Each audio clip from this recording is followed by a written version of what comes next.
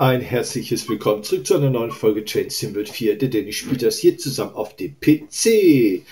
Ich habe mir gedacht, wir machen heute mal einfach mal wieder, das haben wir ja schon länger nicht mehr gemacht, einfach ein normales Szenario auf der Strecke, Hauptstrecke München-Augsburg und habe mir gedacht, wir nehmen uns heute mal das Szenario Stromnotlage vor. Ähm, eine routinemäßige ICE-Fahrt steht an, aber wird alles nach Plan ablaufen? Ja, und genau das werden wir heute herausfinden. Ähm, wie gesagt, das Ganze findet auf der Strecke Hauptstrecke München-Augsburg statt mit der Baureihe 403 von der Deutschen Bahn, auch ICE 3 genannt. Und äh, wie gesagt, das werden wir heute in Angriff nehmen.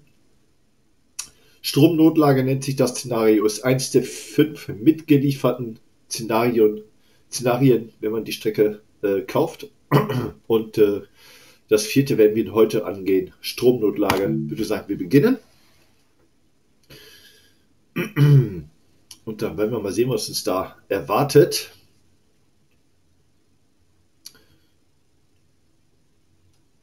Stromnotlage.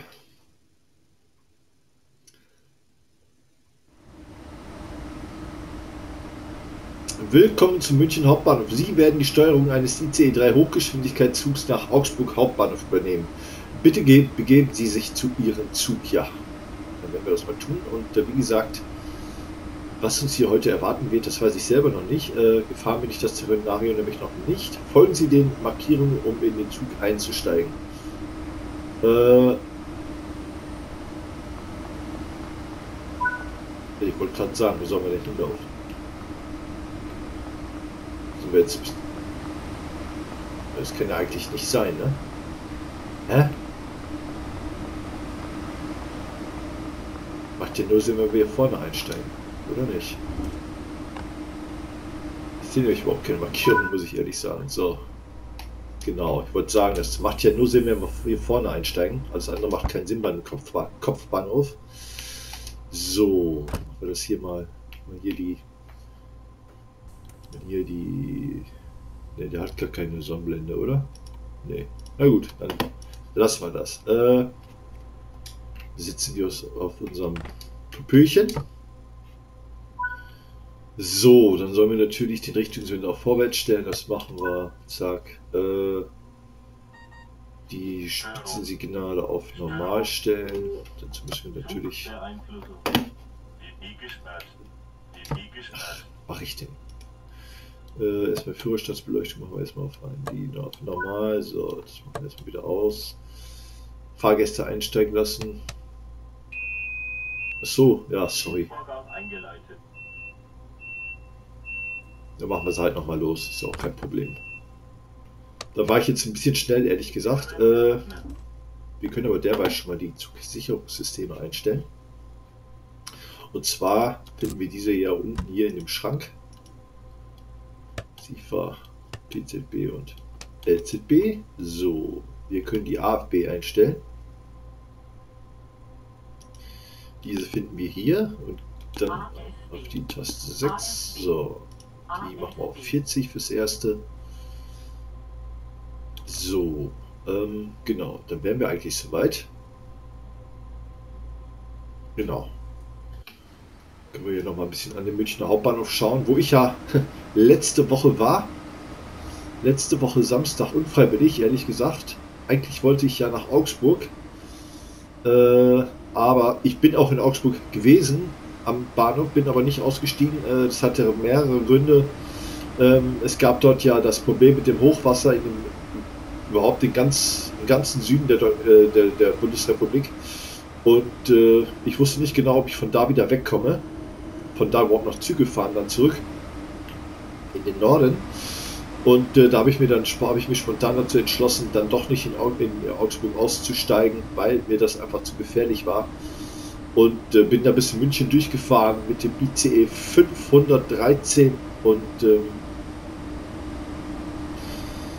ja, bin dann schließlich in München gelandet, bin dann hier noch schön lang gelaufen, also genau an dem letzten Bahnsteig hier, bis da vorne, wo das Dach aufhört praktisch. Hier sind dann, dann eigentlich noch so jede Menge Geschäfte, Jormas und so weiter äh, sind dann hier an dieser Seite, sind dann hier so angebracht. Und äh, ja, habe dann mehr oder weniger anderthalb Stunden, war es fast zwei Stunden, auf den ICE 528 gewartet, der mich dann von München äh, mit einigen Unterwegszeiten zurück nach Essen Hauptbahnhof gebracht hat, allerdings auch mit einigen, einigen Verspätungen. Und äh, wir können die Türen übrigens verriegeln. Und ähm, ja, sodass ich dann in Essen meinen Anschlusszug verpasst habe. Und äh, was dann folgte, war eine einzige Odyssee. Ähm, ich musste dann mit dem RE2 war das, glaube ich, bis nach Duisburg fahren, beziehungsweise bis nach Augsburg, äh, bis nach Duisburg. Und ähm,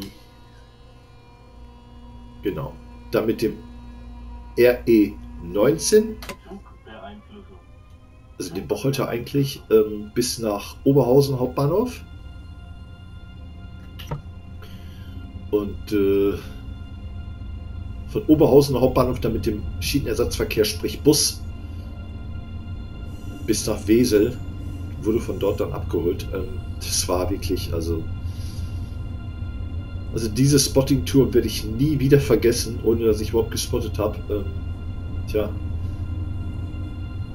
Das war leider alles andere als schön, aber ähm, naja, muss man durch, nützt nichts. Ich hoffe, meine nächste Tour wird wieder besser nach Worms Hauptbahnhof.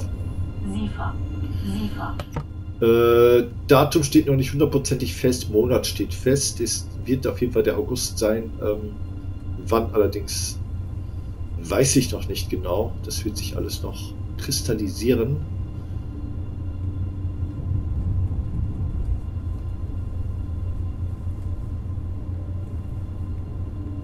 So, ich frage mich jetzt hier, wie das Szenario sich äh, zusammenstellt.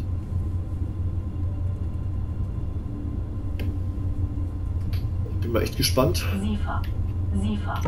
Es ist auch von der Schwierigkeit her, habt ihr ja gesehen, äh, die maximale Stufe. Also es wird hier uns einiges abverlangt. Hier ist auch ordentlich was los, wie ihr seht. Wieder ein ICE, der reinfährt.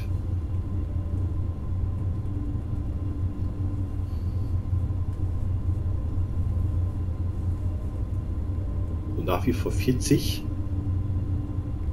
fand ich schön an der äh, Wartungshalle des Münchner Hauptbahnhofs vorbei, wo die, unter anderem die ICE gewartet werden, gewaschen werden, solche, solche Dinge. Da links.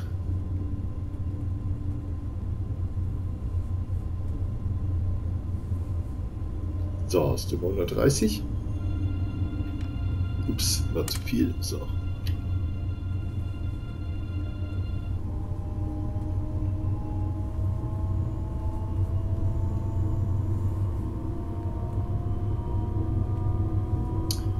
So, wir fahren dann in 13 Kilometer auf die Hochgeschwindigkeitsstrecke.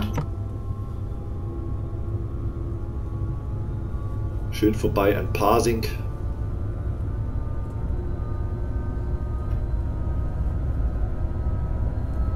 Wieder ein ICE, der uns entgegenkommt. Also hier ist ordentlich was los.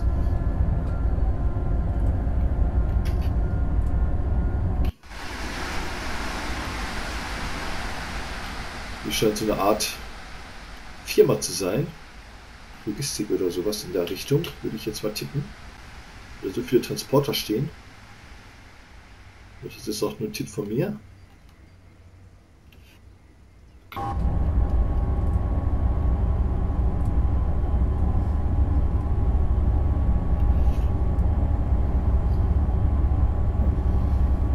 So, und ich muss ganz ehrlich sagen, München ist immer wieder eine Reise wert. Also es ist wirklich eine sehr, sehr schöne Stadt. Auch der Hauptbahnhof ist sehr, sehr schön.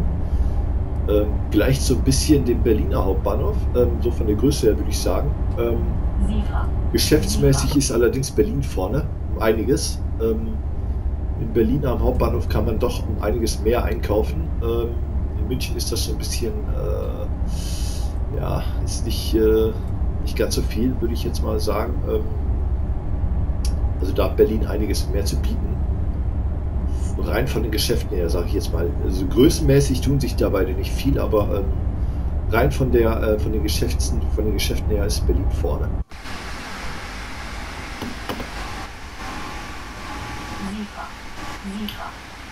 So.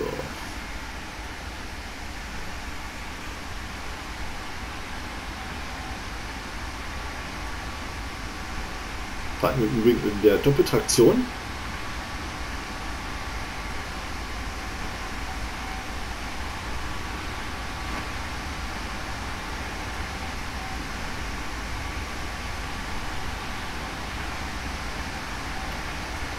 So, da wir den gerade so schön gefahren haben, würde ich sagen, machen wir mal ein kleines Foto. Das ist doch immer was wert. So. Das sieht doch gar nicht so schlecht aus.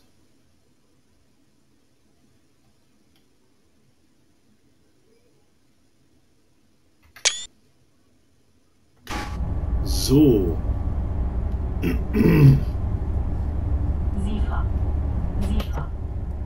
Sondern du war gleich schon 140, 160. Und auf der Hochgeschwindigkeitsstrecke sind wir dann mit Sicherheit in dem 200 bis 300er Bereich.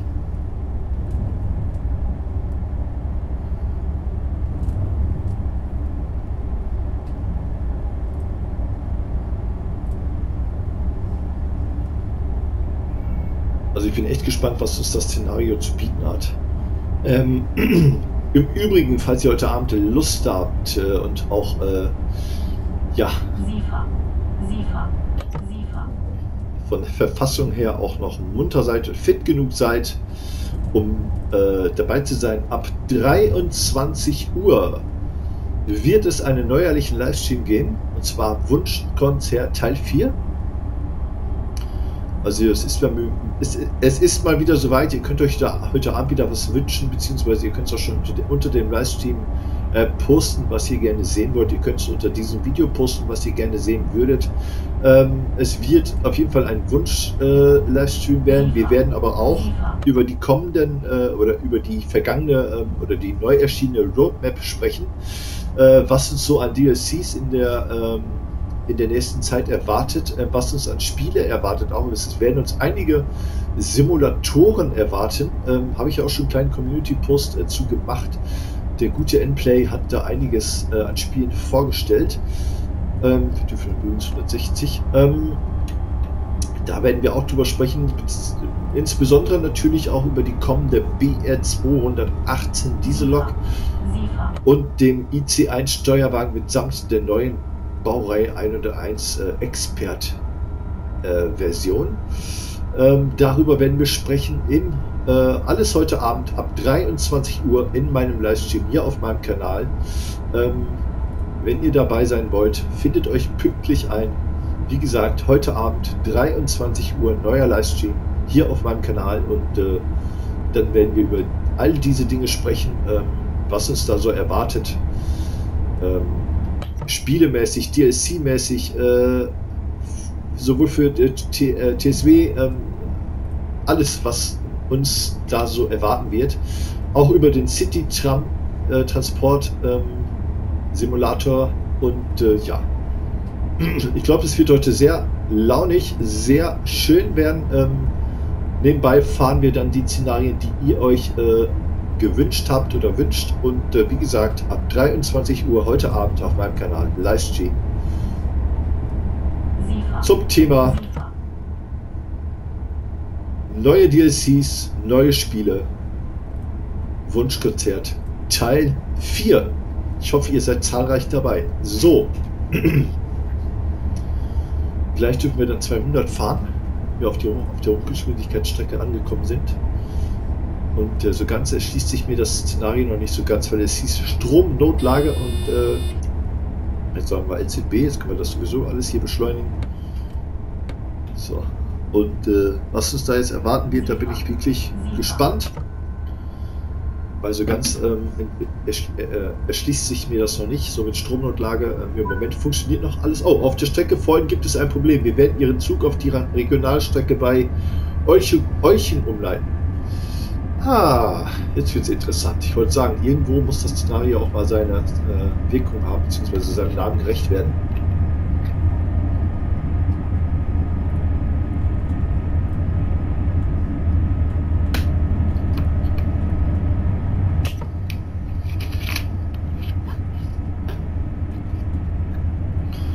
So, das heißt, wir werden jetzt gleich Umleitung fahren.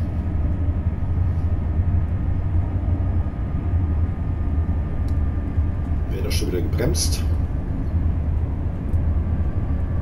Dann ist wahrscheinlich gleich auch die SB zu Ende, würde ich jetzt mal tippen. Wobei, wir fahren ja nur ein kurzes Stück, 120. Ne, ist vorbei, ist vorbei.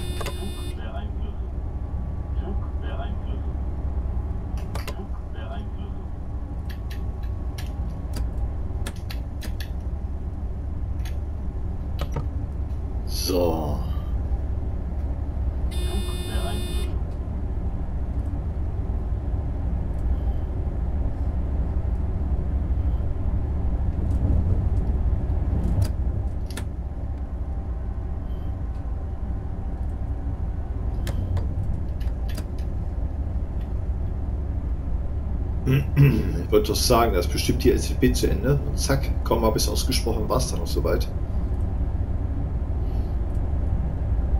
Siefer. Siefer.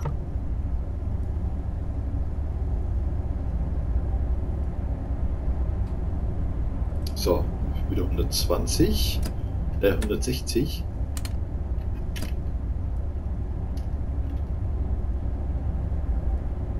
Äh, ah, jetzt verstehe ich. SCFB nochmal runterschrauben. Den wieder neu registriert, genau. Jetzt, genau. Siefer. Siefer.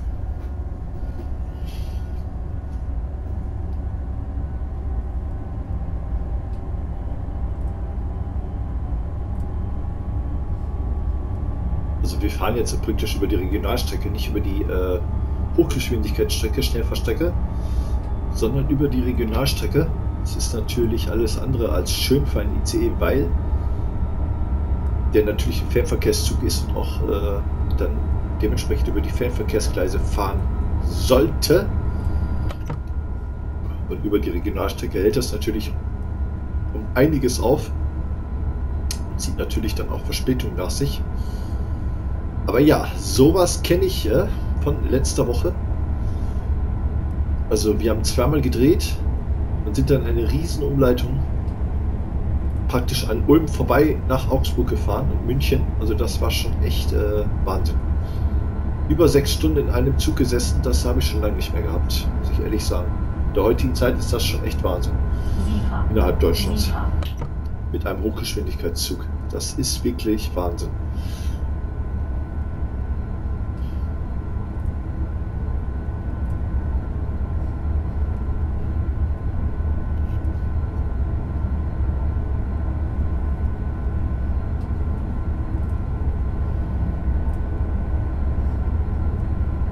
So, wir haben noch 32 Kilometer bis Augsburg. 17 Uhr sollen wir da auftauchen, beziehungsweise einfahren. Bin ich mal gespannt, ob das alles so hinhaut. Wir sind im Moment auch wieder aus, auch aus der LZB raus. Ähm, ob wir da jemals wieder reinkommen in diesem Szenario ist eine andere Frage, weil wir, wie gesagt, wahrscheinlich immer noch auf der Regionalstrecke unterwegs sind. Und da logischerweise nicht schneller als 160 km/h fahren können.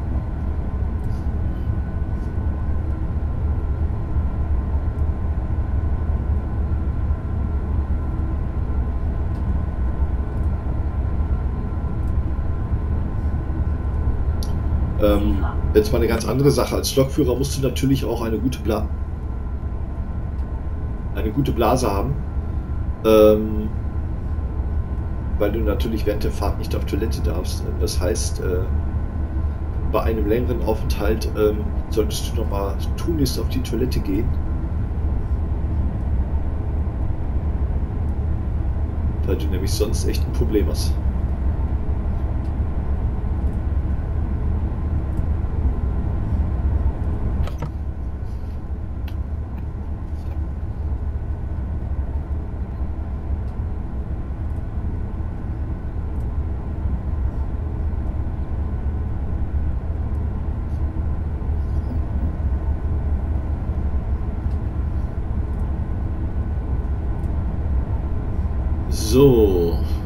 Vor nur 160.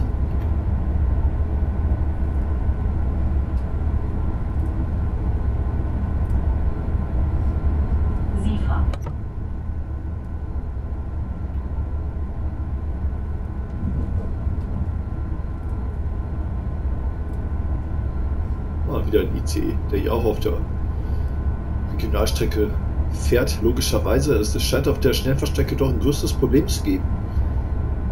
Weswegen ja alle ICEs äh, auf die äh, Regionalstrecke umgeleitet werden. Was für ein Problem, weiß ich allerdings nicht. Schade, dass das nicht thematisiert wird. So, jetzt haben wir gelb. Also scheint irgendwas hier vorzuliegen auf der Strecke, beziehungsweise ein Problem zu sein. Deswegen wir wahrscheinlich auch noch ein rotes Signal zu erwarten haben. Das ist, hat sich gerade aufgehoben. Sehr schön. Da kommt das nächste. Also irgendetwas oder irgendwer ist uns vielleicht auch im Weg. Ich weiß es nicht.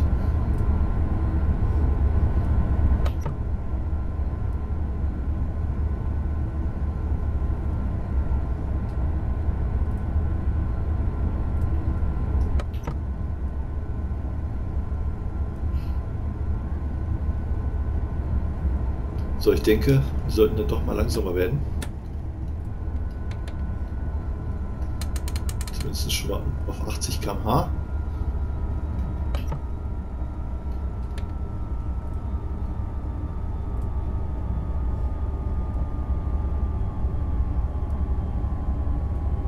Das hat sich wieder aufgehoben. Ist jetzt die Frage, bleibt das jetzt so oder nicht? Wieder so ein bisschen Rätselraten hier. Schalten wir erstmal wieder auf. Da müssen wir halt die Signale ganz genau im Blick haben hier, wie sich das weiterentwickelt.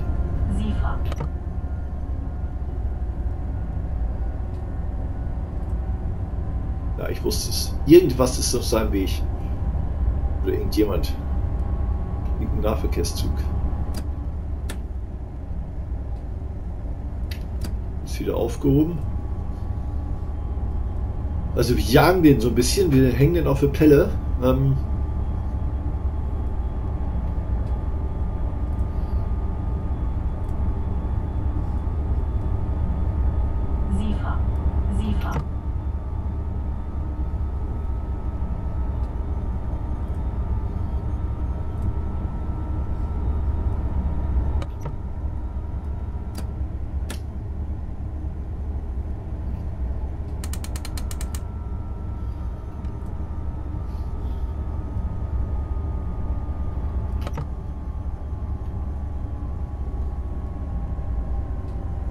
So, fahren wir einfach mal ein bisschen langsamer. Können wir ein bisschen Luft zum Vordermann bekommen.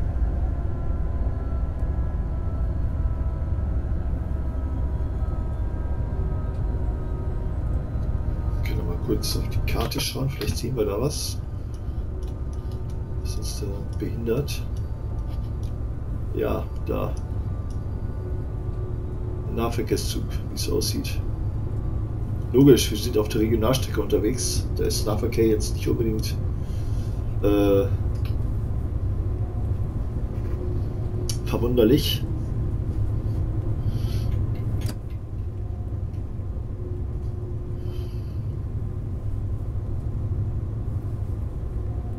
Siefer, Siefer, Siefer.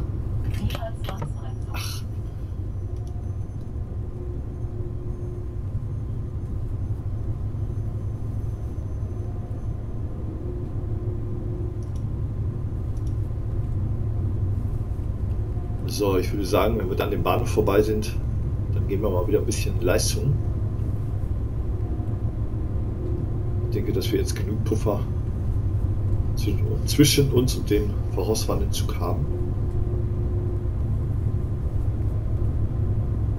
Siefer, Siefer.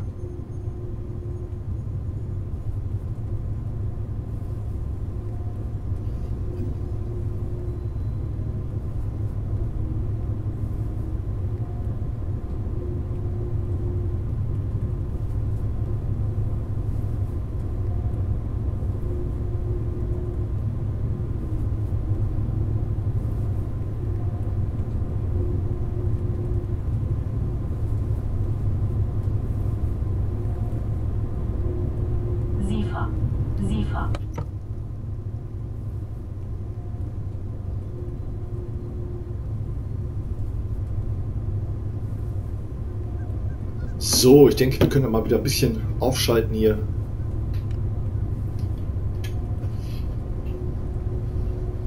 Also immerhin noch äh, eine Ankunftszeit zu beachten von 17 Uhr. Sollte man nicht ganz aus dem Blick verlieren hier.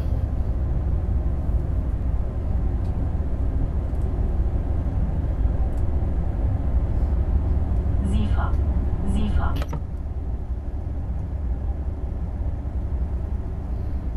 Kaum schalte ich auf, ist das nächste gelbe Vorsignal zu erwarten. Das gibt's doch gar nicht. Das ist nicht wahr. Ich dachte eigentlich, wir hätten genug Polster jetzt, aber anscheinend äh, ist das nicht der Fall.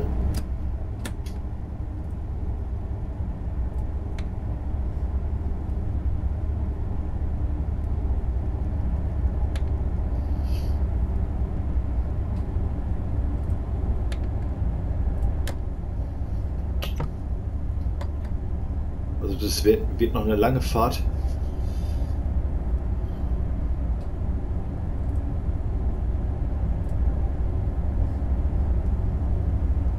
Ich würde sagen,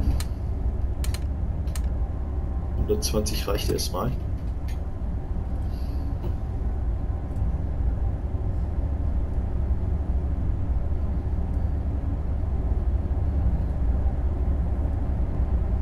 Ich hoffe zumindest, dass das reicht.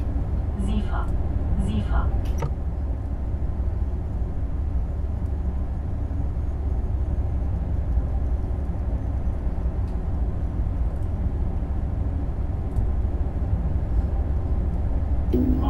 Ach, ich war zu langsam.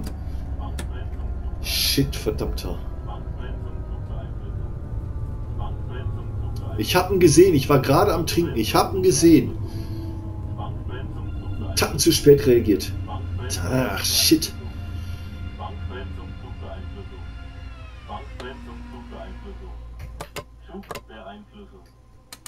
Na egal. Passiert halt.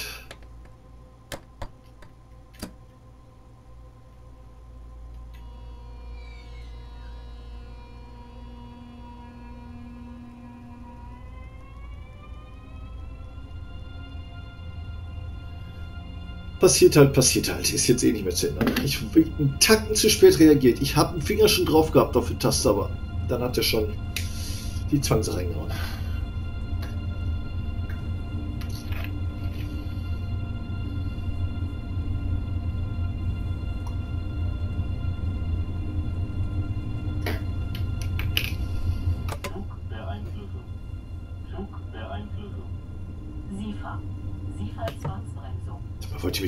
Verarschen jetzt?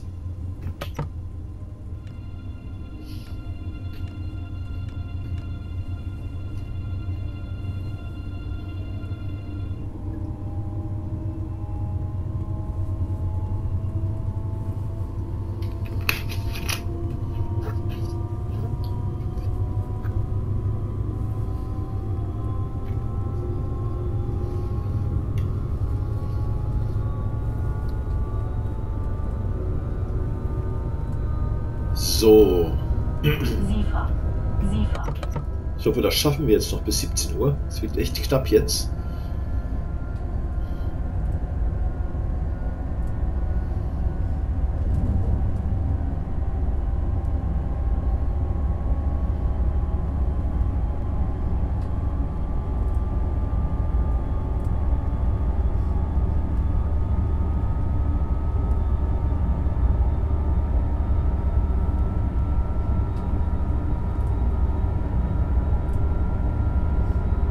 SIFA. SIFA.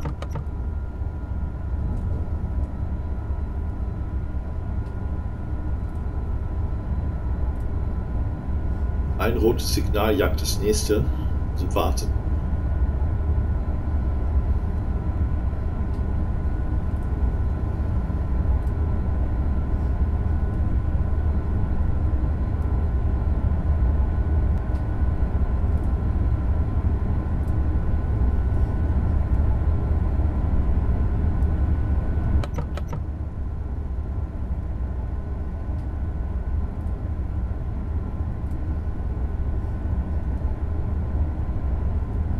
Aber ich glaube, wir haben jetzt den richtigen Abstand, dass es gerade so reicht immer.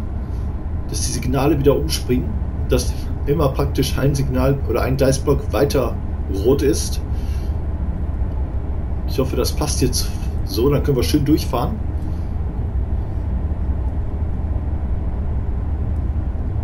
SIFA. SIFA.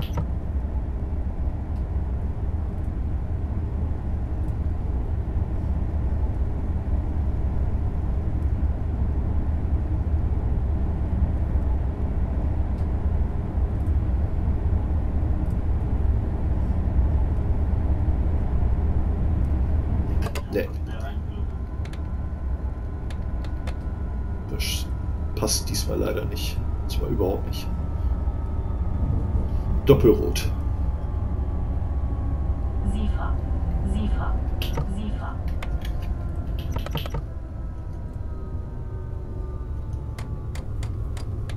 Flug der Einflüsse.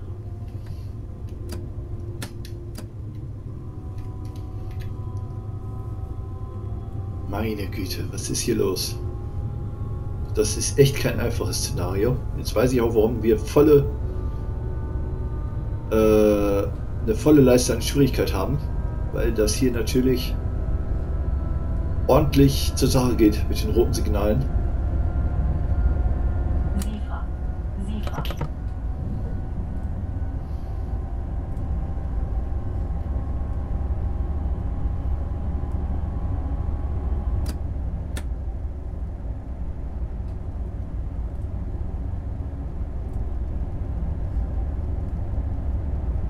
Echt nicht einfach.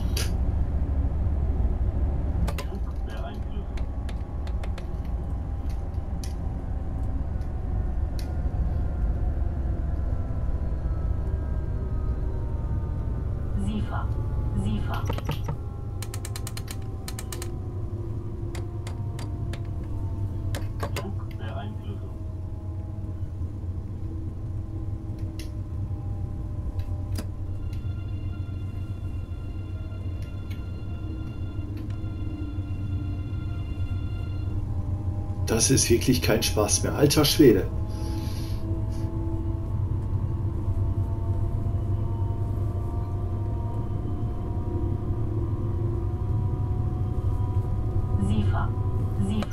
Das ist wirklich Hammer, das Szenario. Also von Intensiv Intensivität her, also man muss hier höllisch auf Zack sein.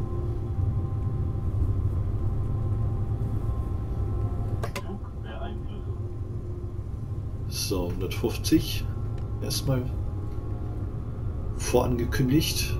Zeitung kommen wir auch noch ein bisschen. Hier ist wieder alles los.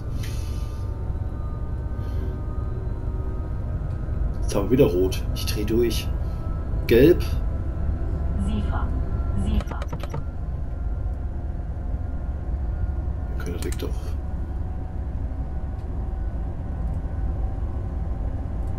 Ändert sich das noch? Das müssen wir nämlich gleich runter auf 80.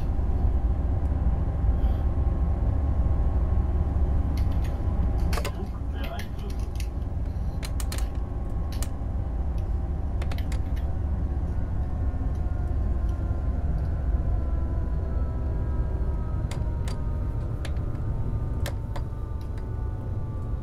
SIFA. SIFA.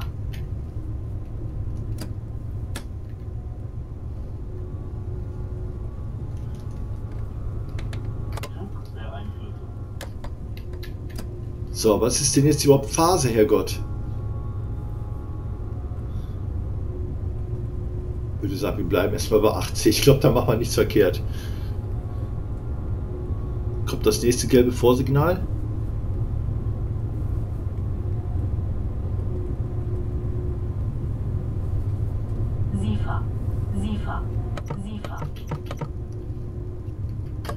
Ja, gut, dass wir auf 80 geblieben sind. Ich war mir klar, dass das kommt.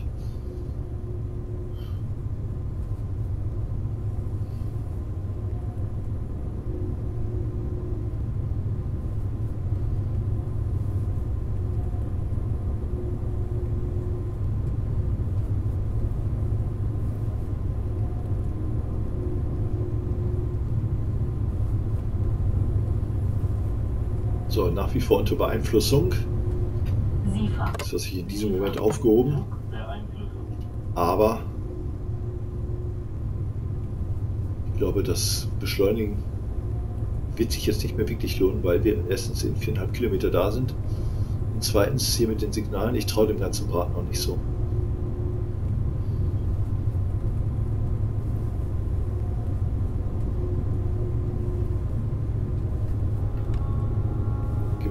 21.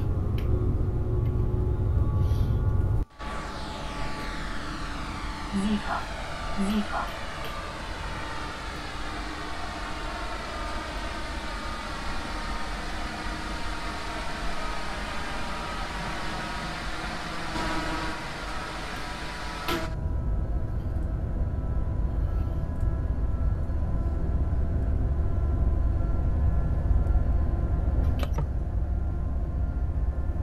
120. SIFA. SIFA. Dann kommen wir direkt wieder runter auf 80.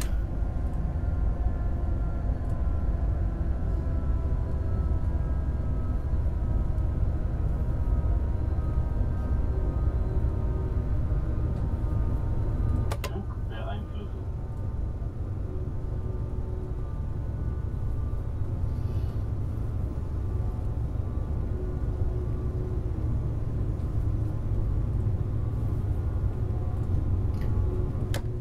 SIFA.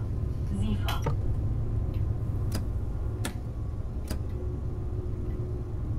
So.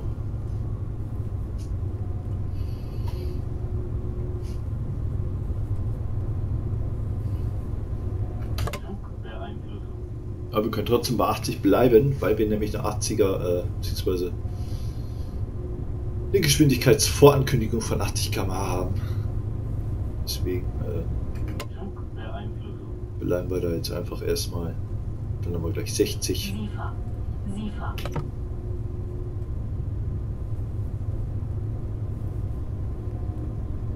Das wird mit 17 Uhr echt eng.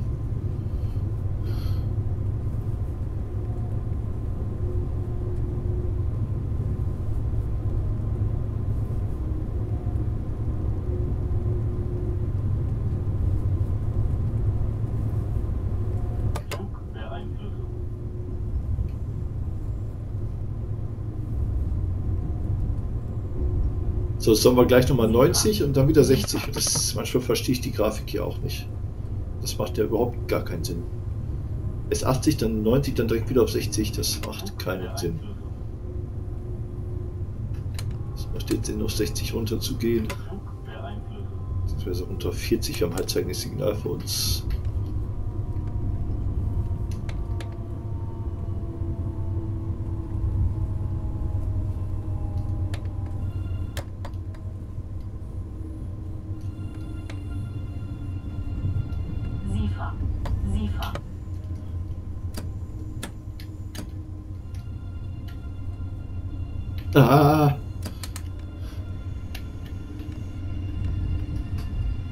Ganz ruhig.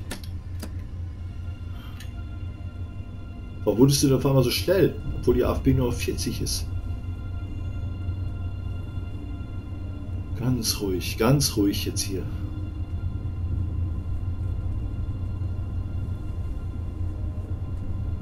So, wir könnten 17 Uhr sogar schaffen. Ja, er lenkt mich doch, sie verzwangsbremse. Manchmal hast du auch irgendwie was. Steht schon der andere ICE.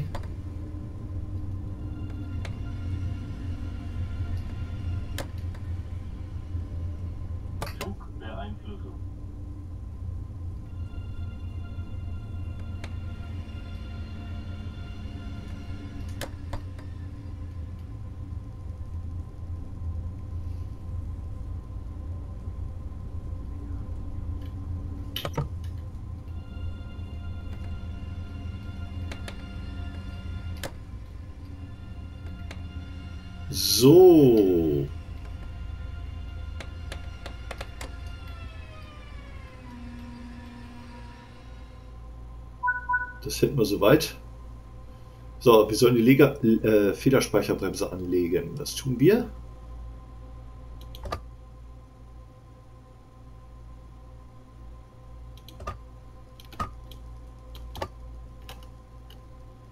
Äh, so, da ist es, okay. Stellen Sie Bremse auf Lösen. Stellen Sie Spitzensignale auf gedimmt. Äh, Stellen Sie die Richtungswende auf aus.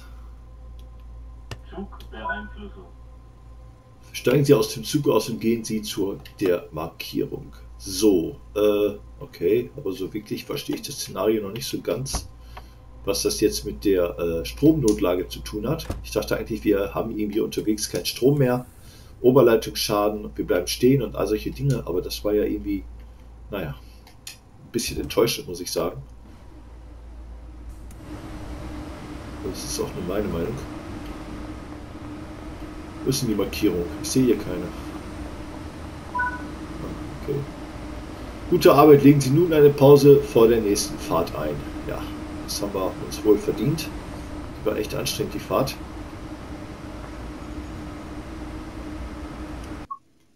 Das muss man schon sagen. Äh, echt eine anstrengende Fahrt teilweise. Aber wie gesagt, ich bin ein bisschen enttäuscht von dem Szenario an sich, weil, ähm, naja, ähm, wie gesagt, unter Stromnotlage habe ich mir was anderes vorgestellt, aber das ist nur meine Meinung. Ähm, ihr könnt ja gerne in die Kommentare schreiben, wenn ihr da ähnlicher Meinung seid oder äh, was ihr davon haltet, aber ich find, bin da echt ein bisschen enttäuscht von. Aber wie gesagt, das ist nur meine Meinung. So, haben wir denn überhaupt was erhalten hier? Eine Goldmedaille immerhin. Das ist doch was. Äh, 40 Minuten haben wir für dieses Szenario gebraucht. Ähm, das haut ungefähr so hin von der äh, Zeitvorgabe, die diesem Szenario zugeschrieben wird. Ähm, wie gesagt, das Szenario nennt sich Stromnotlage. Ähm, ich habe mir, wie gesagt, was anderes darunter vorgestellt, aber das ist nur meine Meinung. Ähm, ich hoffe, es hat euch trotzdem gefallen. Wenn ja, lasst einen Daumen nach oben da. Wenn nicht, macht wie immer gar nichts. Passt auf euch auf. Habt einen schönen Samstag, habt ein schönes Wochenende. Ähm, ich hoffe, ihr seid heute Abend dabei. Ab 23 Uhr im Livestream auf meinem Kanal äh, wird es unter anderem äh, das Wunsch, Wunschkonzert Teil 4 geben. Äh, und auch werden wir die Roadmap, die vergangene Roadmap besprechen, die jetzt im Juni erschienen ist. Äh, wir werden besprechen, was, auf, auf welche DLCs wir uns am meisten freuen und ähm, werden das Ganze so ein bisschen in äh, Anspruch, ne, in Angriff nehmen, werden uns da so ein bisschen besprechen und äh, ja. Wie gesagt, wenn ihr irgendwelche Wünsche für heute Abend habt, schreibt es gerne unter diesem Video, schreibt es ähm, unter dem angekündigten Livestream auf meinem Kanal. Äh, ihr wisst, wie es geht. Ähm, ansonsten wünsche ich euch noch eine schöne Zeit. Äh, passt auf euch auf, habt eine äh, bleibt gesund, bleibt mir treu, macht's gut. Äh, hinterlasst gerne Feedback in Form von Kommentaren, das würde mir sehr helfen. Ähm, denkt an die Kanalmitgliedschaft, äh, auch da könnt ihr euch gerne mal reinklicken, durchklicken, ähm, wenn ihr Bock drauf habt. Schaut in den Shop nach, was es da so für euch gibt. Ähm, all das ist möglich, um mich zu unterstützen, um meinen Kanal zu unterstützen. Äh, es wäre schön, wenn ihr da mal äh, aktiv werden würdet, ohne jemanden äh, dazu irgendwie aufzufordern. Das ist nicht meine Art und Weise, sondern ich möchte es, es euch äh, lediglich wärmstens ans Herz legen und euch empfehlen. Wenn ihr da Bock drauf habt, macht es, wenn nicht, eben nicht. Ähm, ansonsten wünsche ich euch eine schöne Zeit, eventuell bis heute Abend. Passt auf euch auf. Bis zum nächsten Mal. Euer der, der gespielt hat. Haut rein. Ciao, Servus und Tschüss.